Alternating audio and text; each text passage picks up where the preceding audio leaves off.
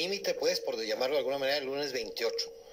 Es decir, yo dije, el lunes 28 tienen que andar ya 40, entre 40 y 60 camiones en la ciudad recogiendo basura con eh, la idea pues de que sea una especie de preoperativo, que estén alistándose.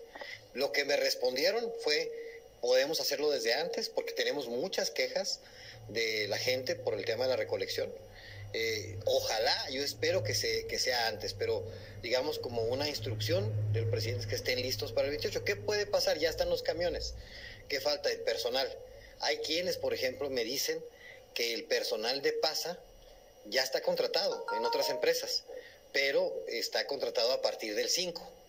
Entonces yo inclusive les digo que estemos viendo si en la Dirección de Servicios Públicos Municipales podríamos, y lo está revisando ahorita la dirección, ver si algún personal se puede subir a ayudarnos en esta etapa.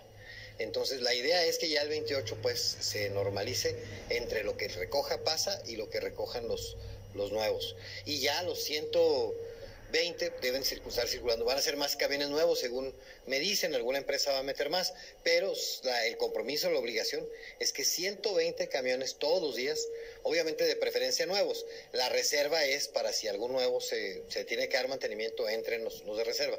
Pero que sí a partir del 5 de septiembre, 120 camiones estén. Y se tiene que notar porque ahorita andan entre 60 y 70 entonces, pero bueno, ya, ya me extendí. Eh, la idea es que a más tardar el lunes ya estén todos en circulación, estos entre 10 y 15 por zona, estamos hablando entre 40 y 60, y que aprovechen pues para ver las rutas que van a seguir y de una vez nos ayuden a, recoger la basura en todas las, en todas las quejas que tenemos en este momento. Y, decirle a los cuarenses, y pues aquí pedirles mucho apoyo a ustedes, a los medios, que eh, si no lo sacamos en este momento es porque tenemos que cuidar la ley no podemos eh, violar la ley. Todo lo que hagamos tiene que ir de acuerdo con la ley.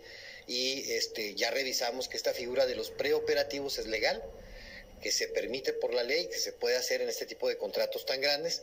Y ya, porque ayer alguna gente que algunos medios publicaron la nota decían, bueno, pues, ¿para qué los muestran? Este, ya sáquenlos a chambear.